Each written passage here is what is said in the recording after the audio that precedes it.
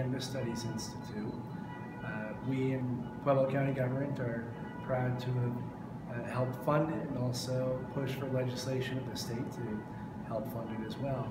In this particular case, uh, we finalized an agreement for impact studies in the community on uh, how legalized adult use marijuana is impacting our community, both uh, anything negative as well as positive uh, social impacts or economic impacts. And we're anxious to get that hard data uh, from the researchers at CSU Pueblo and use that data uh, to address any impacts.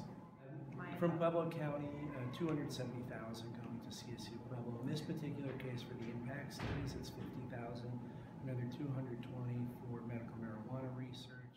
The interesting pieces, I think, are the social impacts as well as the economic impacts. Uh, they're also looking at a few other uh, impacts as well, such as uh, energy and uh, water consumption tied with uh, uh, marijuana cultivation.